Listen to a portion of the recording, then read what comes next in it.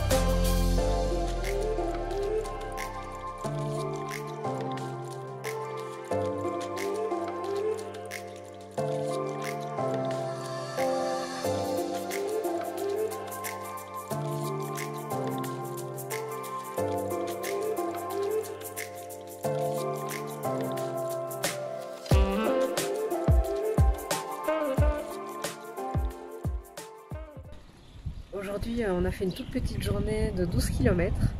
Alors je dis on parce que je marche toujours avec un des pèlerins euh, avec qui je marche depuis Siroki. Ça s'est très bien passé. Euh, on marche toujours dans les champs de blé et de tournesol, comme vous avez pu le constater. moi, je trouve ça très apaisant.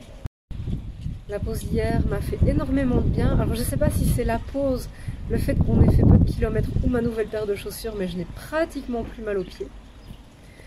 Et euh, en plus, on est tombé aujourd'hui sur une euh, kinésithérapeute qui, faisait, qui proposait des massages donativos. Donc euh, j'ai eu droit à un super massage des pieds. Elle m'a posé un strap, elle m'a donné de bons conseils pour gérer mes douleurs. Donc voilà, tout va bien. Et elle m'a promis que je pouvais aller jusqu'à Saint-Jacques. Et que dans deux jours au plus tard, mes douleurs auraient disparu. Donc je suis trop trop contente.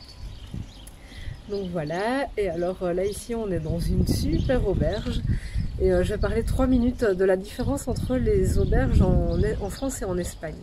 C'est-à-dire que la voie du, Piémont étant très peu fréquentée, il n'y a pas vraiment d'auberge où euh, on est plutôt accueilli par des familles, par des, par des gens qui ont euh, la, gentillesse de nous accueillir. Je pense que ça s'était quand même bien entendu dans les vidéos précédentes. Alors qu'ici en Espagne, bon, ben, le Camino français étant fort fréquenté, euh, on est beaucoup sur des auberges, euh, soit tenues par des congrégations religieuses. Euh, alors, les auberges municipales sont fermées cette année, donc on est essentiellement sur des auberges privées avec une dimension ben, économique. Quoi. Les, gens ne nous reçoivent pas par charité, mais c'est leur métier. Et aujourd'hui, on est tombé dans une très chouette auberge qui me rappelle un peu la France. Enfin, en tout cas, la, partie française que j'ai effectuée, c'est-à-dire qu'on est chez un couple très sympathique, euh, dans une belle auberge très très bien achalandée, avec un magnifique jardin. Euh, je vais mettre une photo euh, tout de suite après. Et voilà, c'est vraiment plaisant d'être arrivé dans, cette auberge ici. On loge avec deux pèlerins français ce soir, donc je pense que le repas va encore être très sympathique.